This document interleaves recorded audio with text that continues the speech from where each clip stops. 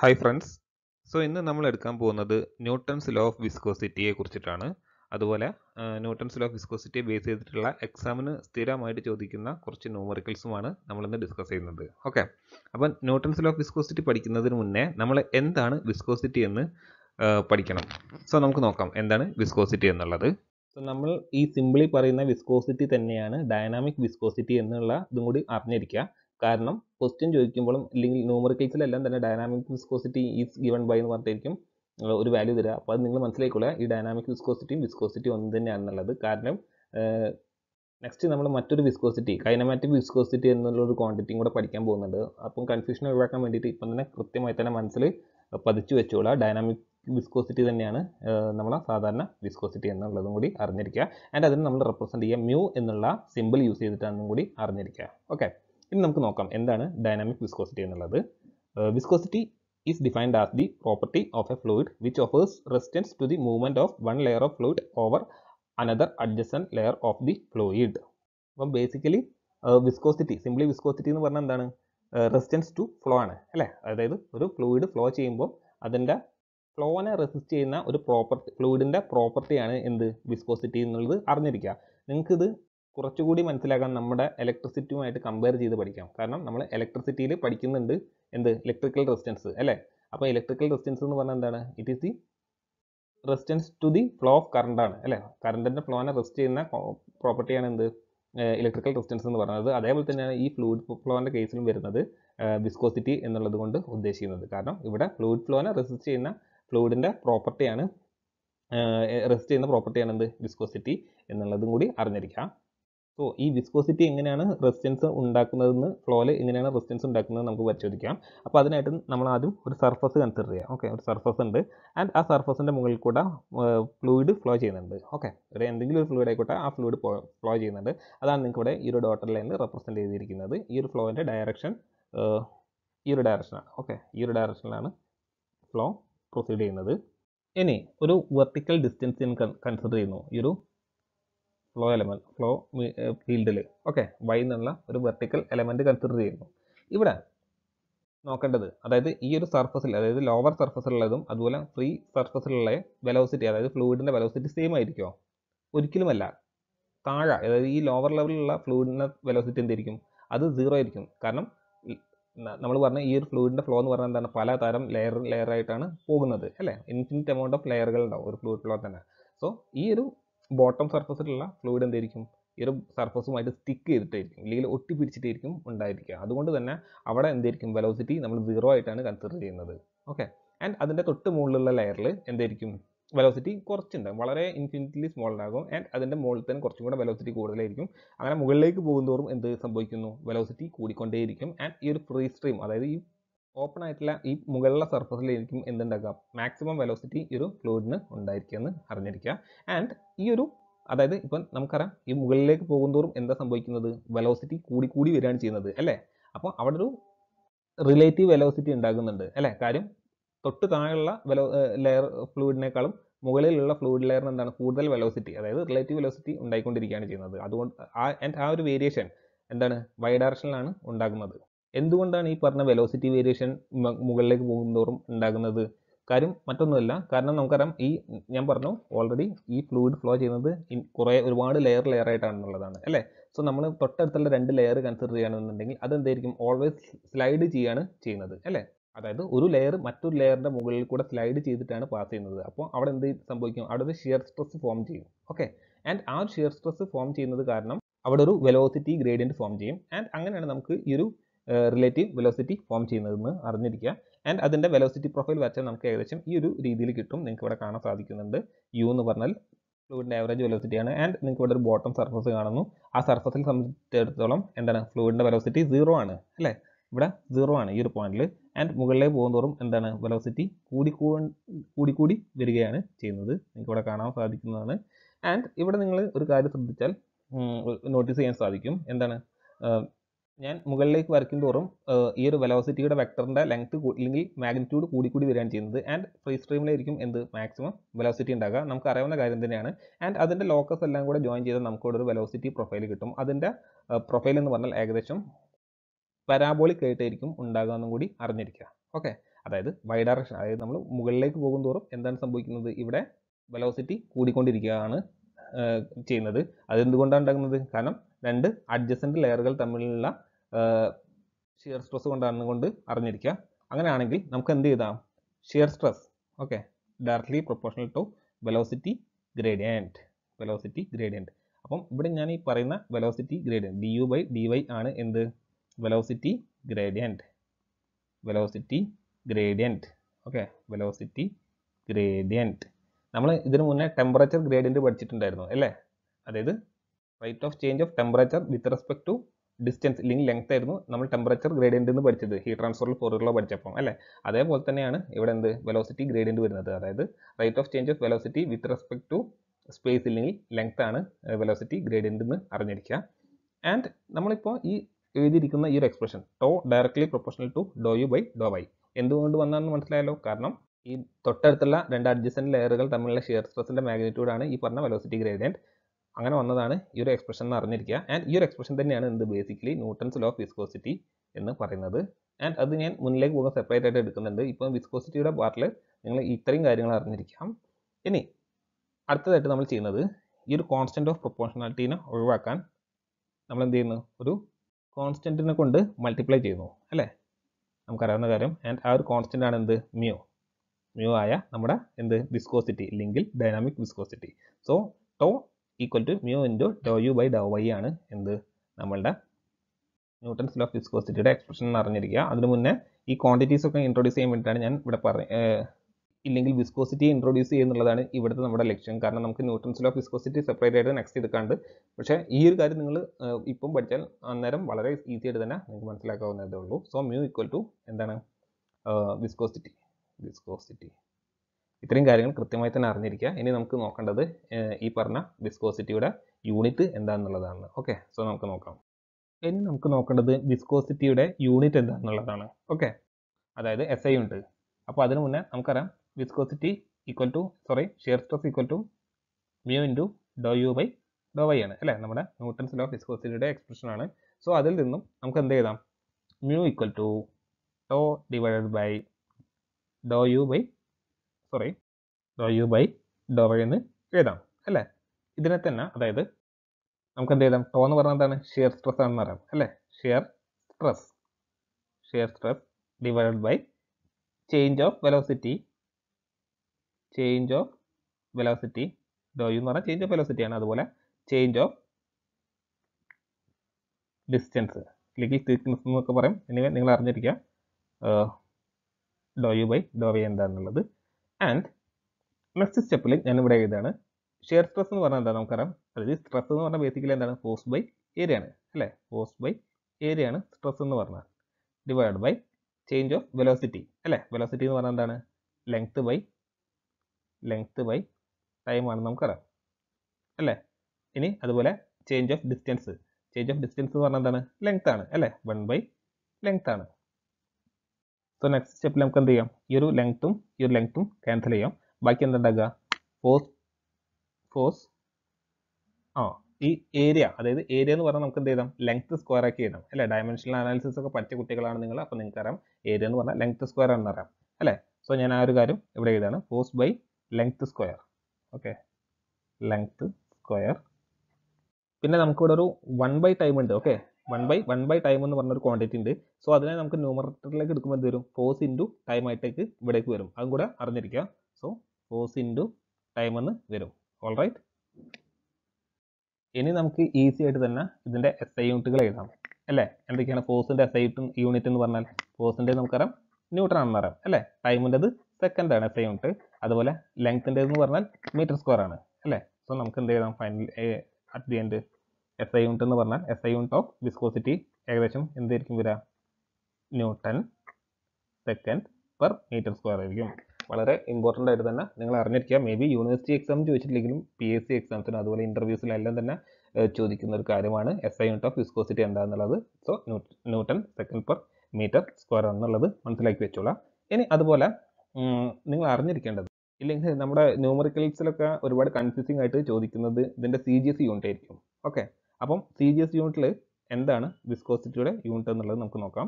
In C G S unit in C G S unit നമുക്കറിയാം viscosity എന്ന് പറഞ്ഞാൽ C G S യൂണിറ്റിൽ ഫോഴ്സിന്റെ യൂണിറ്റ് ആണ് എന്ത്? ഡൈൻ അല്ലേ? സോ അവിടെ ന്യൂട്ടന് പകരം ഡൈൻ ആകും. സെക്കൻഡിൽ മാറ്റമൊന്നുമില്ല. ആസ് യൂഷ്വൽ സെക്കൻഡ് തന്നെ. പിന്നെ മീറ്റർ സ്ക്വയറിന് പകരം എന്തായിരിക്കും സി ജി എസ് യൂണിറ്റിൽ സെന്റിമീറ്റർ സ്ക്വയർ ആയിരിക്കും. ഓക്കെ അപ്പം dyne second per centimetre square ആണ് എന്ത്? പോയ്സ് എന്ന് പറയാം. ഓക്കെ പലപ്പോഴും ക്വസ്റ്റ്യനിൽ എന്താ തരിക എന്ന് വെച്ചാൽ വിസ്കോസിറ്റി ഇത്ര പോയ്സ് ആയിട്ട് ഇല്ലെങ്കിൽ സിക്സ് പോയ്സ് അല്ലെങ്കിൽ ടെൻ പോയ്സ് എന്നൊക്കെ ആയിരിക്കും ക്വസ്റ്റ്യനിൽ തരിക നമുക്ക്. ഓക്കെ ഞാൻ പറഞ്ഞ മനസ്സിലാവുന്നുണ്ടല്ലോ? അപ്പോൾ നമുക്ക് ക്വസ്റ്റ്യനിൽ സി ജി എസ് യൂണിറ്റിലായിരിക്കും നമുക്ക് വിസ്കോസിറ്റി തരിക. അപ്പോൾ അതിനെ നമ്മൾ എന്തായിട്ട് കൺവേർട്ട് ചെയ്യണം? എസ് ഐ യൂണിറ്റായ ന്യൂട്ടൺ സെക്കൻഡ് പെർ മീറ്റർ സ്ക്വയറിലേക്ക് കൺവേർട്ട് ചെയ്യണം. എന്നാൽ മാത്രമേ നമുക്ക് എന്ത് ചെയ്യാൻ പറ്റുള്ളൂ? പ്രോബ്ലംസ് ചെയ്യുന്നത് ചെയ്യാൻ പറ്റുള്ളൂ. അല്ലെങ്കിൽ മിസ്റ്റേക്കുകൾ ഒഴിവാക്കാൻ സാധിക്കുള്ളൂ. അപ്പോൾ ഞാൻ ഒരിക്കൽ കൂടെ പറയുന്നു. നമുക്ക് എക്സ് ക്വസ്റ്റ്യനിൽ തരിക പോയ്സ് അതായത് അതിന്റെ സി വിസ്കോസിറ്റിയുടെ സി ജി എസ് യൂണിറ്റിൽ ആയിട്ടായിരിക്കും നമുക്ക് തരാം. അതിന് നമുക്ക് എന്തായിട്ട് മാറ്റണം? എസ് ഐ യൂണിറ്റിലേക്ക് മാറ്റണം.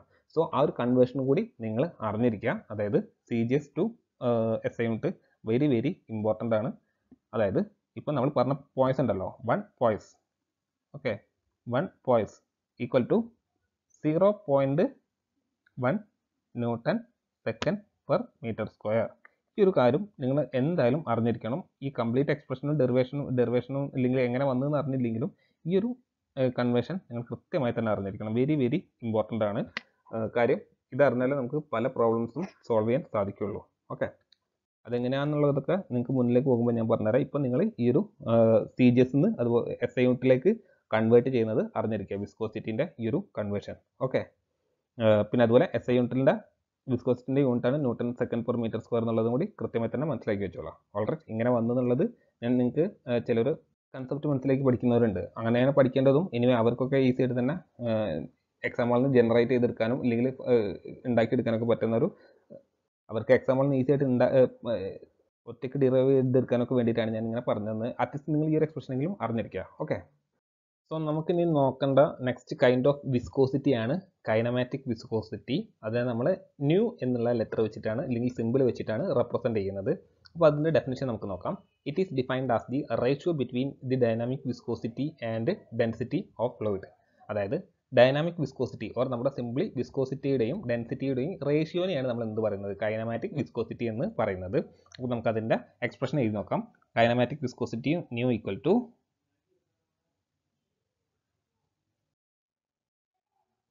dynamic viscosity okay അല്ലെങ്കിൽ സിംപ്ലി എന്ത് ചെയ്താം? Viscosity viscosity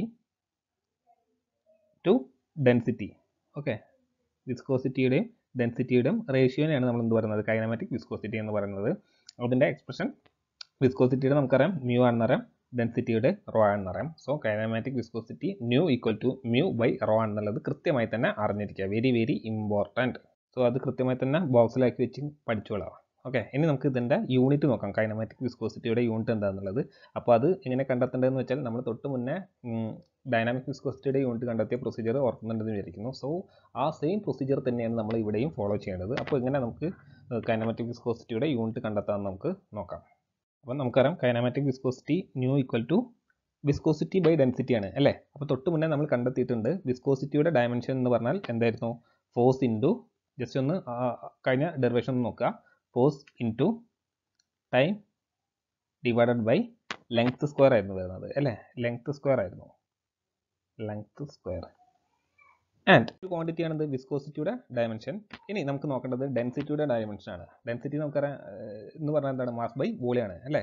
so that is യോൺ ബൈ മാസ് ബൈ വോളിയം അപ്പോൾ ഞാൻ രണ്ടും രണ്ട് കളറിലാണ് കൊടുക്കുന്നത്. അത് നിങ്ങൾ മനസ്സിലാക്കിക്കൊള്ളുക ഒന്ന് എന്താണ് വിസ്കോസിറ്റിയുടെ ഫണ്ടമെന്റൽ ക്വാണ്ടിറ്റീസ് അടങ്ങിയിരിക്കുന്ന ടേമും അതുപോലെ മറ്റൊന്ന് ഡെൻസിറ്റിയുടെയും ആണെന്ന് അറിഞ്ഞിരിക്കുക. ഇനി ഇതിനെ സിംപ്ലിഫൈ ചെയ്താൽ.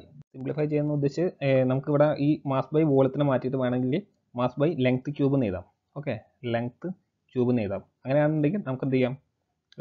ഈ ഒരു ലെങ്ത് സ്ക്വയറിനെയും ഈ ലെങ്ത് ക്യൂബിനെയും കട്ട് ചെയ്യാം. ബാക്കി ഇവിടെ ലെങ്ത് മാത്രമേ ഉണ്ടാവുകയുള്ളൂ അല്ലേ? ആൻഡ് അതിനൊന്ന് റീഅറേഞ്ച് ചെയ്ത് കഴിഞ്ഞാൽ എന്ത് കിട്ടും ബാക്കി? Force into time divided by mass by length എന്ന് കിട്ടും. അല്ലേ? ഈ ഒരു എക്സ്പ്രഷനിലേക്ക് നമുക്ക് റെഡ്യൂസ് ചെയ്യാൻ സാധിക്കും. ഇനി നമ്മൾ ചെയ്യേണ്ടത് ഫോഴ്സിനെ ഒന്ന് റീപ്ലേസ് ചെയ്യണം. ഓക്കെ ഫോഴ്സിനെ ഒന്ന് റീപ്ലേസ് ചെയ്യണം. അപ്പോൾ ഫോഴ്സിനെ നമുക്കറിയാം എന്താണ്? മാസ് ഇന്റു ആക്സലറേഷൻ ആണെന്ന് അറിയാം. അല്ലേ? മാസ് ഇന്റു ആക്സലറേഷൻ എന്ന് പറയാം അല്ലേ? F equal to M A M A acceleration ഞാൻ വീണ്ടും ഇവിടെ എന്ത് ചെയ്യുന്നു? ലെങ്ത് ബൈ ടൈം സ്ക്വയർ എന്ന് എടുക്കുന്നത് okay length by time square length by time square ആണ് ആക്സിലറേഷൻ എന്ന് അറിയാമെന്ന് വിചാരിക്കുന്നു. സോ ആ ഒരു എക്സ്പ്രഷൻ ഞാൻ ഇവിടെ ഇട്ട് കൊടുക്കുന്നു. അപ്പോൾ നമുക്ക് എന്ത് കിട്ടും നോക്കാം. ഓക്കെ നെക്സ്റ്റ് സ്റ്റെപ്പിൽ ഞാൻ ഇവിടെ എഴുതാണ് mass into length by time square okay പോസിന mass into length divided by time square ആണ്. ടൈം സ്ക്വയർ ഇതാണ് എന്ത്? ഫോഴ്സിന്റെ എക്സ്പ്രഷൻ പിന്നെ അവിടെ ഓൾറെഡി ന്യൂമറേറ്ററിൽ ഒരു ടൈം എന്ന് പറഞ്ഞ ഒരു ക്വാണ്ടിറ്റി ഉണ്ടായിരുന്നു. അല്ലേ? ബാക്കി എന്താ ഉള്ളത്? ബാക്കി ഡിനോമിനേറ്ററിൽ മാസ് ബൈ ലെങ്ത് കൊണ്ട് into mass by length already ഉള്ള ആ ഒരു ക്വാണ്ടിറ്റിയെ ഞാൻ ഇവിടേക്ക് എടുത്ത് എഴുതിയിട്ടുണ്ട്. സോ നമുക്ക് ഈ ഒരു എക്സ്പ്രഷനിൽ എന്തൊക്കെ ക്യാൻസൽ ഔട്ട് ചെയ്യാം? ഈ ഒരു മാസും ഈ ഒരു മാസും ക്യാൻസൽ ചെയ്യാം. ഈ ഒരു ടൈമും ഈ ഒരു ടൈം സ്ക്വയറിന്റെ സ്ക്വയറും നമുക്ക് ക്യാൻസൽ ചെയ്യാം. ബാക്കി എന്താ ഉണ്ടാക്കുക? റിമൈനിങ് ആയിട്ട് ബാക്കി നമുക്കിത് ചെയ്താൽ റിമൈനിങ് ആയിട്ട് equal to equal to length square okay length square divided by time ആയിരിക്കും റിമൈനിങ് ആയിട്ട് ഉണ്ടാക്കുക അല്ലേ? അതായത് ഈ ഡിനോമേറ്ററിലുള്ള വൺ ബൈ ലെങ്ത് മേലേക്ക് പോകുമ്പോൾ ലെങ്ത് സ്ക്വയർ ആയിട്ട് വരും. അല്ലെങ്കിൽ ലെങ്ത് ഇന്റു ലെങ്ത് ആയിട്ട് വരും. ബാക്കി വരുന്ന ഈ ഒരു ടൈമോ ഈ ഒരു എക്സ്പ്രഷനിൽ റിമൈനിങ് ആയിട്ട് ഉണ്ടാവുള്ളൂ. സോ നമുക്ക് എന്ത് ചെയ്താം എസ് ഐ യൂണിറ്റ് എന്തായിട്ട് എഴുതാം? S I unit S I unit S I unit metre square അതായത് ലെങ്ത്തിന്റെ എസ് ഐ യൂണിറ്റ് എന്ന് പറഞ്ഞാൽ മീറ്ററാണ് ടൈമിന്റെത് സെക്കൻഡ് ആണ്. സോ നമുക്ക് S I unit of kinematic viscosity എന്ന് പറഞ്ഞാൽ മീറ്റർ സ്ക്വയർ പെർ സെക്കൻഡ് ആയിട്ട് കിട്ടും. ഓക്കെ ഇനി മോസ്റ്റ് ഇമ്പോർട്ടന്റ്ലി നിങ്ങൾ അറിഞ്ഞിരിക്കേണ്ടത് ഇതിന്റെ സി ജി എസ് യൂണിറ്റും കൂടി അറിഞ്ഞിരിക്കണം. Okay C G S unit അപ്പം in C G S unit ഈ കാര്യം കൂടെ നോർത്തി വെച്ചോളാം. In C G S unit C G S unit നമുക്കറിയാം സി ജി എസ് യൂണിറ്റിൽ മീറ്ററിന് പകരം നമ്മൾ എന്താ പറയുക സെന്റിമീറ്റർ സ്ക്വയർ ആണ്. ഓക്കെ അല്ലെങ്കിൽ മീറ്ററിന് പകരം സെന്റിമീറ്റർ സ്ക്വയർ ആണ് സെന്റിമീറ്റർ ആണ്. ഡിവൈഡ് ബൈ സെക്കൻഡ് കിട്ടും അല്ലേ? ആൻഡ് ഈ ഒരു സെന്റിമീറ്റർ സ്ക്വയർ പെർ സെക്കൻഡ് അതിനെയാണ് നമ്മൾ എന്ത് പറയാം? സ്ട്രോക്ക് എന്ന് പറയാം. കൃത്യമായി തന്നെ അറിഞ്ഞിരിക്കുക centimetre per centimetre square per സെക്കൻഡാണ് stroke എന്നുള്ളത്. വെരി വെരി ഇമ്പോർട്ടന്റ് കാരണം ഞാൻ പറഞ്ഞു നമ്മൾ തൊട്ട് മുന്നേ ഡൈനാമിക് വിസ്കോസിറ്റിയിൽ പോയ്സ് ആയിരുന്നു അതിന്റെ സി ജി സി ഉണ്ടെങ്കിൽ ഇവിടെ കൈനമാറ്റിക് വിസ്കോസിറ്റിയിൽ അത് സ്ട്രോക്ക് ആണെന്ന് അറിഞ്ഞിരിക്കുക. കാരണം ക്വസ്റ്റ്യനിൽ സ്ട്രോക്ക് എന്നായിരിക്കും തരിക. ഓക്കെ ഇനി മോസ്റ്റ് ഇമ്പോർട്ടന്റ്ലി ഇതിന്റെ കൺവേർഷൻ കൂടി നമ്മൾ അറിഞ്ഞിരിക്കണം. ഓക്കെ അതിന്റെ കൺവേർഷൻ എന്ന് പറഞ്ഞാൽ അതായത് എസ് ഐ യൂണിറ്റായ മീറ്റർ സ്ക്വയർ പെർ സെക്കൻഡിന്റെയും സി ജി എസ് യൂണിറ്റും തമ്മിലുള്ള കൺവേർഷൻ നിങ്ങൾ അറിഞ്ഞിരിക്കണം. എന്നാലേ പ്രോബ്ലം ചെയ്യുമ്പോൾ അത് നമുക്ക് ഹെൽപ്ഫുൾ ആവുള്ളൂ ഇല്ലെങ്കിൽ ചെയ്യാൻ സാധിക്കുള്ളൂ പ്രോബ്ലം അപ്പം വൺ സ്ട്രോക്ക് എന്ന് പറഞ്ഞാൽ വൺ സ്ട്രോക്ക് എന്ന് പറഞ്ഞാൽ അറിഞ്ഞിരിക്കുക. One stokes equal to ten raise to minus four metre square per second ആണെന്ന് അറിഞ്ഞിരിക്കുക. ഓൾ റൈറ്റ് ബോക്സിലാക്കി വെച്ചോളൂ. വെരി വെരി ഇമ്പോർട്ടന്റ് ആയിട്ടുള്ളൊരു കൺവേർഷനാണ് ഈ പറഞ്ഞിരിക്കുന്നത്. കാരണം എക്സാമിനൊക്കെ സ്ഥിരമായിട്ട് ഇതിന്റെ കൺവേർഷൻ അങ്ങോട്ടും ഇങ്ങോട്ടും ആവശ്യം വരും. പ്രോബ്ലം ചെയ്യുമ്പോൾ ഓക്കെ മനസ്സിലായി എന്ന് വിചാരിക്കുന്നു. നെക്സ്റ്റ് നമുക്ക് നോക്കേണ്ടത് വിസ്കോസിറ്റിയെ കുറിച്ച് അറിഞ്ഞിരിക്കേണ്ട കുറച്ച് ഇമ്പോർട്ടന്റ് ആയിട്ടുള്ള പോയിന്റ്സ് ആണ്. ഓക്കെ അതെന്തൊക്കെയാണ് നമുക്ക് നോക്കാം. ഫസ്റ്റ് പോയിന്റ് ആണ് viscosity of liquids decreases with temperature whereas viscosity of gases increases with increase in temperature അതായത് ലിക്വിഡിനെ സംബന്ധിച്ചിടത്തോളം എക്സാമ്പിൾ നമ്മൾ വാട്ടർ എടുക്കുക. വാട്ടറിനെ നമ്മൾ ഹീറ്റ് ചെയ്താൽ അല്ലെങ്കിൽ ടെമ്പറേച്ചർ കൂടുന്നതിനനുസരിച്ച് വാട്ടറിന്റെ വിസ്കോസിറ്റി എന്താണ് ചേരുന്നത് കുറയുകയാണ് ചെയ്യുന്നത്. ഓക്കെ ഞാൻ ഒരിക്കൽ കൂടെ പറയുന്നു ലിക്വിഡ്സിന്റെ വിസ്കോസിറ്റി ടെമ്പറേച്ചർ കൂട്ടുന്നതിനനുസരിച്ച് കുറയാണ് ചെയ്യുന്നത്. അതിന്റെ നേരെ ഓപ്പോസിറ്റ് ആയിരിക്കും എന്ത് സംഭവിക്കുന്നത്? ഗ്യാസസിന്റെ കേസിൽ ഗ്യാസസിന്റെ കേസിൽ എന്താണ്? ടെമ്പറേച്ചർ കൂടുന്നതിനനുസരിച്ച് വിസ്കോസിറ്റി കൂടുകയാണ് ചെയ്യുന്നത്. അതായത് ഒരു എയറിന്റെ എക്സാമ്പിൾ എടുത്താൽ മതി. എയർ നമ്മൾ ടെമ്പറേച്ചർ കൂട്ടാനുണ്ടെങ്കിൽ എയറിന്റെ വിസ്കോസിറ്റി കൂടും. ഓൾറൈറ്റ് ഇനി നെക്സ്റ്റ് നമുക്ക് നോക്കാനുള്ളത് viscosity of water is one degree Celsius is one centipoise അതായത് നമ്മുടെ സ്റ്റാൻഡേർഡ് ഫ്ലൂയിഡ് ആണുള്ള വാട്ടർ അപ്പം വാട്ടറിന്റെ വിസ്കോസിറ്റി അറിഞ്ഞിരിക്കുക ഒരു ഡിഗ്രി സെൽഷ്യസിൽ വാട്ടറിന്റെ വിസ്കോസിറ്റി ആണ് ഒരു വൺ സെന്റിപ്പോയ്സ് എന്നുള്ളത്. ഓക്കെ നെക്സ്റ്റ് ആണ്. Viscosity of liquid is due to cohesion and molecular momentum transfer അതായത് ലിക്വിഡ്സിനെ സംബന്ധിച്ചിടത്തോളം വിസ്കോസിറ്റിക്ക് കാരണമായിട്ടിരിക്കുന്ന മോളിക്കുലർ ലെവലിലുള്ള രണ്ട് കാര്യങ്ങളാണ് കൊഹച്ചനും അതുപോലെ മോളിക്കുലർ മൊമെന്റം ട്രാൻസ്ഫർ എന്ന് പറയുന്നതും. ഓക്കെ കൊഹഷൻ എന്ന് പറഞ്ഞാൽ ഒന്നുമില്ല. രണ്ട് സിമിലർ കൈൻഡ് ഓഫ് മോളിക്യൂൾസ് തമ്മിലുള്ള അട്രാക്റ്റീവ് ഫോഴ്സിനെയാണ് നമ്മൾ കൊഹസീവ് ഫോഴ്സ് എന്നുള്ളത് കൊണ്ട് ഉദ്ദേശിക്കുന്നത്. മോളിക്കുലർ മൊമെന്റം ട്രാൻസ്ഫർ എന്ന് പറഞ്ഞാൽ അത് തമ്മിലുള്ള പൊല്യൂഷൻ കാരണം ട്രാൻസ്ഫർ ചെയ്യുന്ന മോളിക്കുലർ മൊമെന്റം കൊണ്ട് ഉണ്ടാകുന്ന ഒരു ഫോഴ്സാണ് ഈ പറഞ്ഞ മോളിക്കുലർ മൊമെന്റം ട്രാൻസ്ഫർ ഓക്കെ അപ്പോൾ ഈ രണ്ട് ഫിനോമിനം കൊണ്ടുമാണ് പ്രധാനമായും ലിക്വിഡ്സിൽ വിസ്കോസിറ്റി ഉണ്ടാകുന്നതെന്ന് അറിഞ്ഞിരിക്കുക. ഓക്കെ ഇനിയാണ് നമ്മളുടെ ഇന്നത്തെ മെയിൻ ടോപ്പിക്കിലേക്ക് കിടക്കുന്നത്. ന്യൂട്ടൺസ് ലോ ഓഫ് വിസ്കോസിറ്റി എന്നുള്ളത്. സോ ഇത് എക്സാമിന് ചോദിക്കാറുണ്ട് സ്ഥിരമായിട്ട് ചോദിക്കാറുണ്ട് ന്യൂട്ടൺസ് ലോ ഓഫ് വിസ്കോസിറ്റി എന്താണെന്നുള്ളത് അപ്പോൾ അറിഞ്ഞിരിക്കുക അതിന്റെ ഡെഫിനേഷൻ ഇല്ലെങ്കിൽ സ്റ്റേറ്റ്മെന്റ് എന്താണെന്നുള്ളത് it states that shear stress on a fluid element layer is directly proportional to the velocity gradient or rate of shear strain അതായത് പറയുന്നത് ഇത്രയേ ഉള്ളൂ. Shear stress directly proportional to shear stress നമുക്കറിയാം shear stress എന്ന് പറഞ്ഞാൽ tau directly proportional to velocity gradient അല്ലേ? Velocity gradient എന്ന് പറഞ്ഞാൽ നമ്മൾ വിസ്കോസിറ്റി പഠിച്ചപ്പോൾ പറഞ്ഞാണ് d u by d y എന്നുള്ളത് ഓർ നമുക്ക് എന്ത് ചെയ്താം tau equal to mu into do u by sorry do u by do y ആണ്. ഓൾറൈറ്റ് ആൻഡ് ഈ പറഞ്ഞിരിക്കുന്ന കോൺസ്റ്റന്റ് ഓഫ് പ്രൊപ്പോർഷണാലിറ്റിനെ നമ്മൾ ഒഴിവാക്കാൻ വേണ്ടി കൊടുത്ത മ്യൂ ആണ് എന്ത്? വിസ്കോസിറ്റി ആൻഡ് അതിന് തന്നെ കോയഫിഷ്യന്റ് ഓഫ് വിസ്കോസിറ്റി എന്നും പറയാറുണ്ട്. അറിഞ്ഞിരിക്കുക. ഇല്ലെങ്കിൽ ഡൈനാമിക് വിസ്കോസിറ്റി എല്ലാം തന്നെ ഈ ഒരു സെയിം മ്യൂ ആണെന്നുള്ളത് അറിഞ്ഞിരിക്കുക. ആകെ കൈനാമാറ്റിക് വിസ്കോസിറ്റിയാണ് നമ്മുടെ ന്യൂ എന്നും അത് പറഞ്ഞാൽ മ്യൂ ബൈ റോ ആണെന്നുള്ളതും കൂടി കൃത്യമായി തന്നെ മനസ്സിലാക്കി വെച്ചോളാം. ഓക്കെ അപ്പോൾ നിങ്ങൾ ഈ ഒരു എക്സ്പ്രഷൻ എഴുതി വെച്ചിട്ട് താഴെ എന്ത് ചെയ്തിരിക്കണം വേർ വേർ മ്യൂ ഇക്വൽ ഞാൻ താഴെ സ്ഥലത്തത് കൊണ്ടാണ് സൈഡിൽ എഴുതുന്നത് സോ നിങ്ങൾ താഴെ എഴുതി അല്ലെങ്കിൽ എവിടെ വെച്ചാൽ സ്ഥലങ്ങളിലോട്ട് എഴുതി വെച്ചോളാം. മ്യൂ എന്ന് പറഞ്ഞാൽ എന്താണ്? കോഫിഷ്യന്റ് ഓഫ് വിസ്കോസിറ്റി അല്ലെങ്കിൽ സിംപ്ലി വിസ്കോസിറ്റി എന്ന് പറയാറുണ്ട്. കോഫിഷ്യന്റ് ഓഫ് വിസ്കോ സിറ്റി അതുപോലെ d u by d y d u by d u I എന്ന് പറഞ്ഞാൽ എന്താണ്? Velocity gradient okay velocity gradient അതുപോലെ ഇവിടെ മറ്റൊരു ഡെഫിനേഷൻ കൂടെ പറയുന്നുണ്ട്. ഡയറക്ട്ലി പ്രൊപ്പ അതായത് shear stress directly proportional to rate of shear strain എന്ന് പറയുന്നുണ്ട്. അല്ലേ? അപ്പം ആ ഒരു ടേം പ്രകാരം എനിക്ക് ഇതിനെ തന്നെ എന്ത് ചെയ്താം tau equal to mu into dow theta by dow T എന്ന് എഴുതാം. Okay dow theta by dow T എന്ന് എഴുതാം. അപ്പം ഈ dow theta by dow T ഉണ്ടല്ലോ. ഡോട്ട് തീറ്റ ബൈ ഡോട്ട് ഇ ഇത് ഇതാണ് എന്ത് rate of shear strain rate of shear strain അറിഞ്ഞിരിക്കുക. ഓക്കെ നമുക്ക് ഈ ആദ്യത്തെ ഒരു ഡെഫിനിഷനും അല്ലെങ്കിൽ ഈ ഒരു എക്സ്പ്രഷൻ തന്നെ മതി. ധാരാളമാണ്. എന്നാൽ ഇതും കൂടെ അറിഞ്ഞിരിക്കുന്നതിൽ തെറ്റില്ലേ? ഇങ്ങനെയും നമുക്ക് എന്ത് ഡിഫൈൻ ചെയ്യാം? നോട്ടൻസൽ ഓഫ് വിസ്കോസിറ്റിയെ ഡിഫൈൻ ചെയ്യാമെന്ന് അറിഞ്ഞിരിക്കാം. ഓക്കെ ഇനി അതിനു മുമ്പ് തന്നെ ഈ പറഞ്ഞ എക്സ്പ്രഷൻസ് ഒക്കെ തന്നെ നമ്മൾ ആസ് യൂഷ്വൽ ചെയ്യുന്നത് പോലെ തന്നെ ഇമ്പോർട്ടന്റ് എക്സ്പ്രഷൻസ് എല്ലാം തന്നെ ബോക്സിലാക്കി വെച്ചോളാം ഓക്കെ വെരി വെരി ഇമ്പോർട്ടന്റ് ഇനി നമുക്ക് നോക്കേണ്ടത് ഈ ഫ്ലൂയിഡ്സിനെ ക്ലാസിഫൈ ചെയ്യണം. അപ്പോൾ അത് എങ്ങനെ ക്ലാസിഫൈ ചെയ്യാന്നുള്ളത് നമുക്ക് നോക്കാം. Fluids which obey the above relation are known as Newtonian fluids and the fluids which do not obey the above relations are called non Newtonian fluids അപ്പം ഫ്ലൂയിഡ്സ് ഈ ഒരു റിലേഷൻ ഫോളോ ചെയ്തിട്ടാണ് അത് ഫ്ലോ ചെയ്യുന്നതെങ്കിൽ അതിന് നമ്മൾ എന്ത് പറയും? ന്യൂട്ടൺസ് ന്യൂട്ടോണിയൻ ഫ്ലൂയിഡ്സ് എന്ന് പറയും. ഓക്കെ അതിന് എക്സാമ്പിളാണ് എയർ വാട്ടർ ഒക്കെ തന്നെ.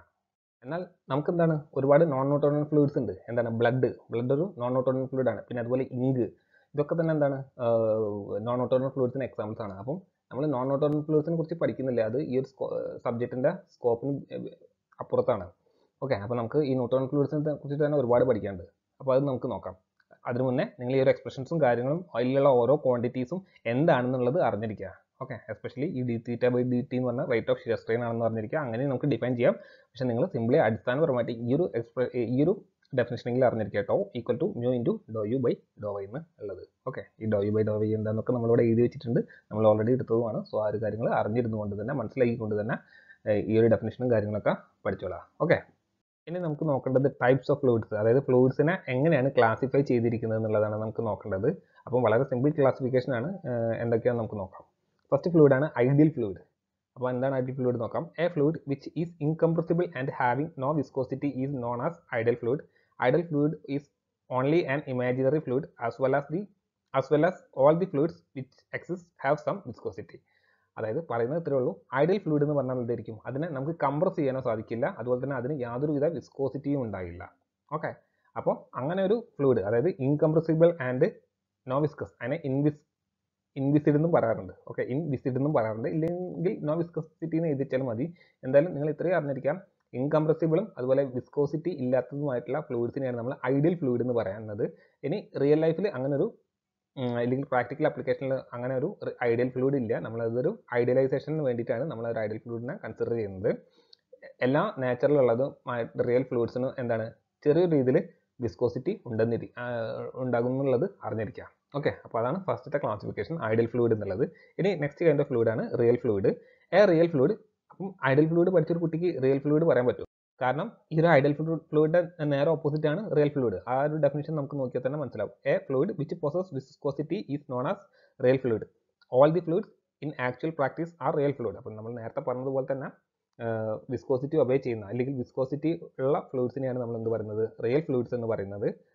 അതുപോലെ തന്നെ നമ്മളെ ആക്ച്വൽ പ്രാക്ടീസിൽ അല്ലെങ്കിൽ റിയൽ ലൈഫിലെല്ലാം തന്നെ റിയൽ ഫ്ലൂയിഡ്സ് ആയിരിക്കും നമ്മൾ ഡീൽ ചെയ്യുന്നതും കൂടി അറിഞ്ഞിരിക്കുക.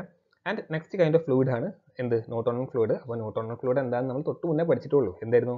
Tau equal to mu into dow U by dow Y അല്ലെങ്കിൽ ആ ഒരു എക്സ്പ്രഷൻ ഫോളോ ചെയ്യുന്ന ഫ്ലൂയിഡ്സിനെയാണ് നമ്മൾ നോട്ടോണൽ ഫ്ലൂയിഡ് എന്ന് പറയുന്നത്. സോ ആ സ്റ്റേറ്റ്മെന്റ് നമുക്ക് നോക്കാം. A real fluid in which the shear stress is directly proportional to rate of shear strain or velocity gradient is known as Newtonian fluid okay അപ്പോൾ ഈ ഒരു സ്റ്റേറ്റ്മെന്റ് അറിഞ്ഞിരിക്കുക. ചിലപ്പം ചോദിക്കും ക്ലാസിഫിക്കേഷൻ ഓഫ് ഫ്ലൂയിഡ്സ് എന്നുള്ളത്. അപ്പോൾ നിങ്ങൾ എഴുതി വെക്കേണ്ട കാര്യമാണ് ഈ പറഞ്ഞിരിക്കുന്നത്. ഓക്കെ നെക്സ്റ്റ് ഫ്ലൂയിഡ് ആണ് കാറ്റഗറി ഫ്ലൂയിഡ് ആണ് എന്ത്? നോൺ നോട്ടോൺ ഫ്ലൂയിഡ് അപ്പോൾ നോട്ടോൺ ഫ്ലൂയിഡിന്റെ നേരെ ഓപ്പോസിറ്റ് ആയിരിക്കും നോൺ നോട്ടോൺ ഫ്ലൂയിഡ് എന്ന് അറിഞ്ഞിരിക്കുക.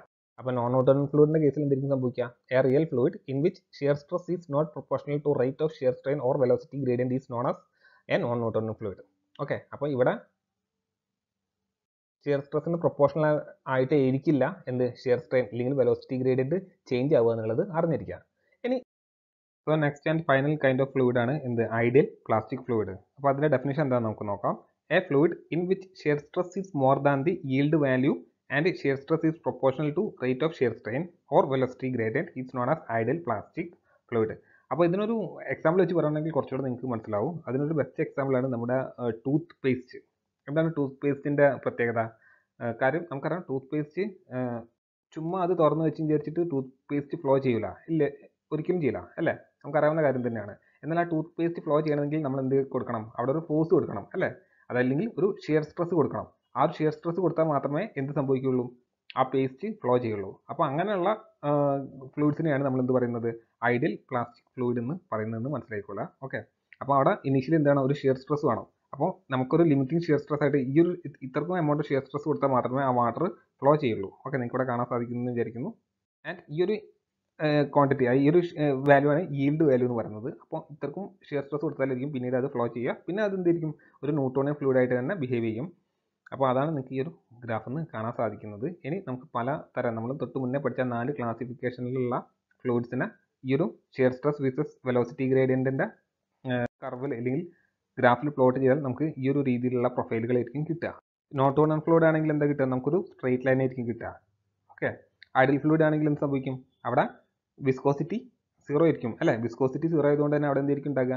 ഷിയർ സ്ട്രെസ്സും സീറോ ആയിരിക്കും. അപ്പോൾ നമുക്ക് എന്തായിരിക്കും? ഈ ഒരു എക്സ് ആക്സിൽ ആയിട്ടായിരിക്കും നമുക്ക് കിട്ടുക എന്ത്? ഹൈഡൽ ഫ്ലൂഡ് ഓക്കെ നിങ്ങൾ ആ ഒരു ഡെഫിനേഷൻ വെച്ചിട്ട് തന്നെ നിങ്ങൾക്ക് ഈസി ആയിട്ട് വരച്ചെടുക്കാൻ പറ്റുന്നതാണ് ഈ ഒരു ടൈപ്സ് ഓഫ് ഫ്ലൂയിഡിന്റെ ഗ്രാഫ് ഓക്കെ അപ്പം നമ്മൾ ഐഡിയൽ ഫ്ലൂഡ് പറഞ്ഞ് ന്യൂട്ടൺ ഫ്ലൂയിഡ് പറഞ്ഞു നോൺ നോട്ടോൺ ഫ്ലൂയിഡ് പറഞ്ഞു. എന്താണ് നോൺ നോട്ടോൺ ഫ്ലൂയിഡ് പറഞ്ഞാൽ?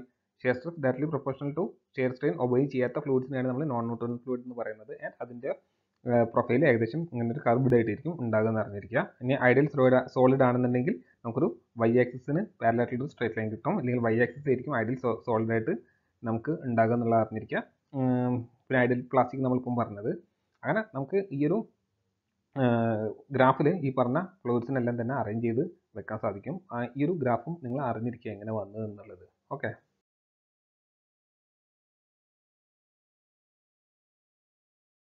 അപ്പോൾ നമുക്ക് ഫസ്റ്റ് ക്വസ്റ്റ്യൻ നോക്കാം. Determine the viscosity of a liquid having kinematic viscosity six stroke and specific gravity one point nine അപ്പോൾ നമുക്ക് കാണേണ്ടത് എന്താണ് വിസ്കോസിറ്റിയാണ് കാണേണ്ടത്. തന്നിരിക്കുന്നത് എന്തൊക്കെയാണ്? കൈനമാറ്റിക് വിസ്കോസിറ്റി സിക്സ് സ്ട്രോക്ക് ആണ് തന്നിട്ടുണ്ട്. അതുപോലെ specific gravity one point nine ആണ് തന്നിട്ടുണ്ട്. അല്ലേ? അങ്ങനെയാണെങ്കിൽ വിസ്കോസിറ്റി കണ്ടെത്താനാണ് ചോദിച്ചിരിക്കുന്നത്. അപ്പം നമ്മൾ ഇങ്ങനത്തെ ഒരു ക്വസ്റ്റ്യൻ കിട്ടിയാൽ ആദ്യം ചെയ്യേണ്ടത് ഗിവൺ ഡാറ്റാസ് ലിസ്റ്റ് ഔട്ട് ചെയ്തെടുക്കുക എന്നുള്ളതാണ്. സോ ആദ്യം നമുക്ക് ഗിവൺ ഡാറ്റാസ് എഴുതി വെക്കാം. ഗിവൺ ഗിവൺ ആകെ രണ്ട് കാര്യങ്ങളെ തന്നിട്ടുള്ളൂ. ഇനി നമുക്ക് നോക്കാം. ഗിവൺ എന്താ തന്നത്? കൈനമാറ്റിക് വിസ്കോസിറ്റിയാണ് തന്നിരിക്കുന്നത്. അല്ലേ? സോ നമുക്കറിയാം കൈനമാറ്റിക് വിസ്കോസിറ്റി എന്ന് പറഞ്ഞാൽ ന്യൂ അല്ലേ? ന്യൂ ഈക്വൽ ടു എത്രയാണ്? സിക്സ് സ്ട്രോക്ക് ആണ്. സിക്സ് സ്ട്രോക്ക് നമുക്കറിയാം സ്ട്രോക്ക് എന്ന് പറഞ്ഞാൽ എന്താണ്? സെന്റിമീറ്റർ സ്ക്വയർ പെർ സെക്കൻഡ് ആണ് അല്ലേ? അപ്പോൾ അതായത് six centimetre square per second ആണ്.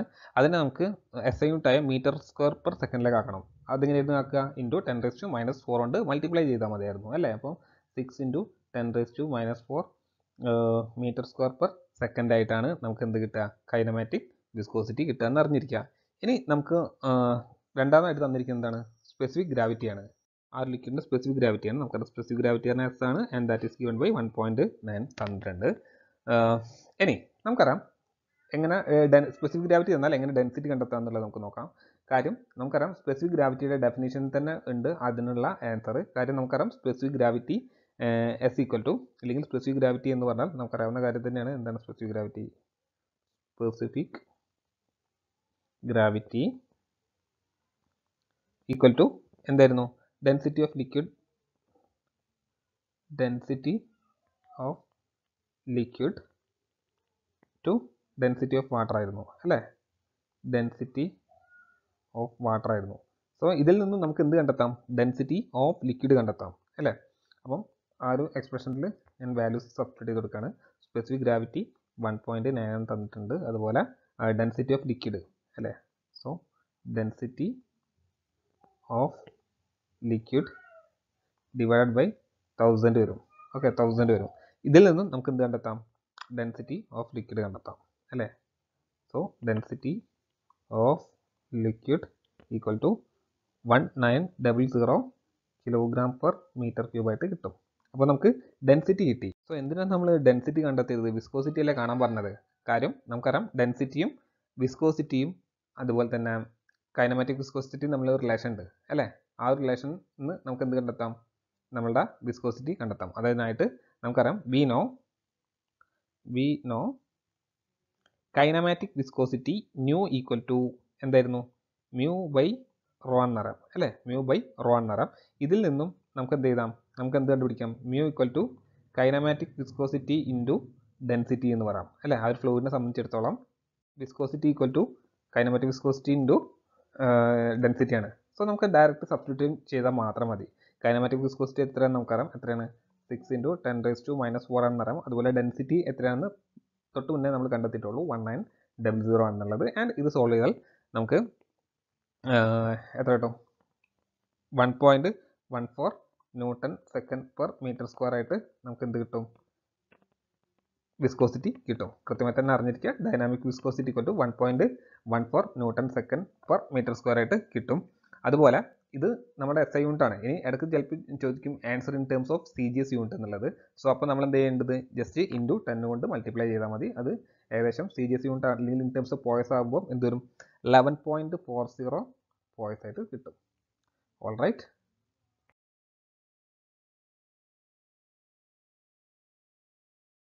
സോ നമുക്ക് നെക്സ്റ്റ് ക്വസ്റ്റ്യൻ നോക്കാം. ഞാൻ ഒരുപാട് ക്വസ്റ്റ്യൻസും ചെയ്യിക്കുന്നില്ല. വളരെ ടിപ്പിക്കൽ ആയിട്ടുള്ള രണ്ടോ മൂന്നോ ക്വസ്റ്റ്യൻസ് ആണ് ചെയ്യിക്കുന്നത്. സോ ഒരു കൺസെപ്റ്റ് മനസ്സിലാക്കുക എന്നുള്ളതാണ് നമ്മുടെ ലക്ഷ്യം. ഇനി നമുക്ക് ക്വസ്റ്റ്യൻ നോക്കാം. The dynamic viscosity of oil used for lubrication between shaft and sleeve is six poise അപ്പോൾ നമുക്ക് ഡൈനാമിക് വിസ്കോസിറ്റി ഓർ സിംപ്ലി വിസ്കോസിറ്റിയുടെ വാല്യൂ തന്നിട്ടുണ്ട് എത്ര? സിക്സ് പോയിസൺ തന്നിട്ടുണ്ട്.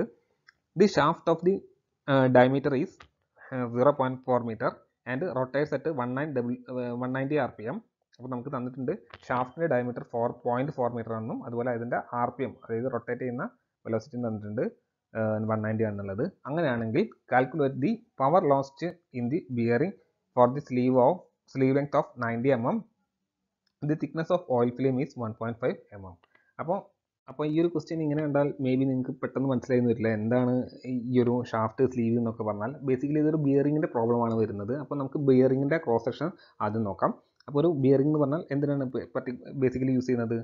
പ്രധാനമായും ബിയറിംഗിന് രണ്ട് ഫംഗ്ഷൻസ് ആണ് ഉള്ളത്. ഒന്ന് ലോഡ് വിത്ത്സ്റ്റാൻഡ് ചെയ്യുക അതുപോലെ തന്നെ ഫ്രിക്ഷൻ റിഡ്യൂസ് ചെയ്യുക എന്നുള്ള ഈ രണ്ട് പർപ്പസാണ് അപ്പോൾ നമുക്കിവിടെ ഇതാണ് ഒരു ടിപ്പിക്കൽ ബിയറിംഗ് അപ്പോൾ നിങ്ങൾക്ക് ഇവിടെ കാണാം ഇന്നർ സൈഡിൽ എന്താണ്? ഒരു ഷാഫ്റ്റ് ഉണ്ട് അല്ലേ? അപ്പോൾ ഈ ഒരു ഷാഫ്റ്റിനെ സപ്പോർട്ടും ചെയ്യണം അതുപോലെ തന്നെ ഇതിന്റെ ഫ്രിക്ഷനും റിഡ്യൂസ് ചെയ്യണം. ആൻഡ് ഈ ഒരു ഷാഫ്റ്റിനെ കവർ ചെയ്തുകൊണ്ട് തന്നെ ഒരു സ്ലീവ് ഉണ്ട് അല്ലേ? ഈ ഒരു സ്ലീവ് ഇല്ലെങ്കിൽ ഹൗസിംഗ് ഉണ്ട്. അപ്പോൾ നിങ്ങൾക്ക് കാണാം ഇവിടെ ഒരു ഹൗസിംഗ് അല്ലെങ്കിൽ ഇതിന് തന്നെയാണ് സ്ലീവ് എന്നും പറയാറ്. ആൻഡ് ഷാഫ്റ്റ് ഉണ്ട്. അപ്പം ഇതിന്റെ ഫ്രിക്ഷനും കുറയ്ക്കണം. നമുക്ക് ഇതിനെ ലോ ഈ ഒരു ഷാഫ്റ്റിന്റെ മേലുള്ള ലോഡിനെ വിത്ത്സ്റ്റാൻഡും ചെയ്യണം. അപ്പോൾ അതെങ്ങനെ പോസിബിൾ ആകുന്നതെന്ന് വെച്ചാൽ ഇതിന് ഇൻ ബിറ്റ്വീൻ നമ്മൾ പല മെത്തേഡ്സ് ഉണ്ട്. ഇവിടെ നമ്മൾ യൂസ് ചെയ്യുന്നത് എന്താണ്?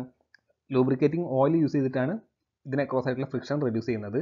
ബോൾ ബിയറിങ്സ് ഒക്കെ യൂസ് ചെയ്തിട്ടും ചെയ്യാൻ പറ്റും. നമ്മളിവിടെ ചെയ്യുന്നത് ഫ്ലൂയിഡ് മെക്കാനിക്സിന്റെ ലൂബ്രിക്കേറ്റിംഗ് ഓയിലിന്റെ പ്രോപ്പർട്ടി യൂസ് ചെയ്തിട്ടാണ് ഫ്രിക്ഷൻ റെഡ്യൂസ് ചെയ്യുന്നത്. സോ നമ്മൾ ഈ ഒരു ഓയിൽ ഇൻലെറ്റ് കൂടെ ഓയിൽ ഇതിലേക്ക് സപ്ലൈ ചെയ്യും. ആൻഡ് ഇതിന്റെ ഒരു റൊട്ടേഷൻ ഈ ഷാഫ്റ്റിന്റെ റൊട്ടേഷൻ കാരണം എന്ത് സംഭവിക്കും? ഈ ഒരു തിൻ ഓയിലിന്റെ ലെയർ ഉണ്ടാകും.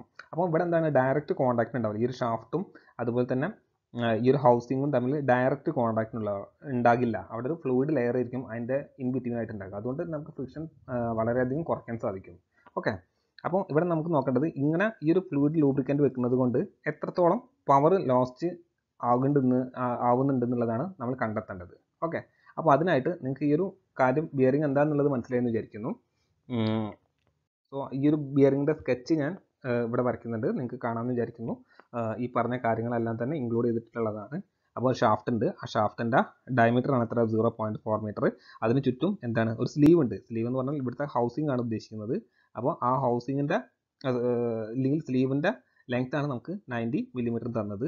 ആൻഡ് ഈ ഒരു ഷാഫ്റ്റിന്റെയും സ്ലീവിന്റെയും ഇടയ്ക്ക് എന്താണ്? ഒരു തിൻ ലെയർ ഓഫ് ഫ്ലൂയിഡ് ഉണ്ട് അല്ലേ? ആ ഒരു തിൻ ലെയർ ഓഫ് ഫ്ലൂയിഡ് കാരണമാണ് എന്തുണ്ടാകുന്നത് ഇതിനൊരു ലൂബ്രിക്കേഷൻ പ്രോപ്പർട്ടി ഉണ്ടാകുന്നത്. അതിന് അതുകൊണ്ട് തന്നെ അതിന്റെ ഫ്രിക്ഷൻ റെഡ്യൂസ് ചെയ്യാൻ നമുക്ക് സാധിക്കുന്നു. ഓക്കെ ആൻഡ് ആ ഒരു തിക്നെസ് ആണ് one point five M M എന്നുള്ളതും ഓയിൽ ഫിലിമിന്റെ തിക്നെസ് ആണ് one point five M M എന്നുള്ളതും അറിഞ്ഞിരിക്കുക.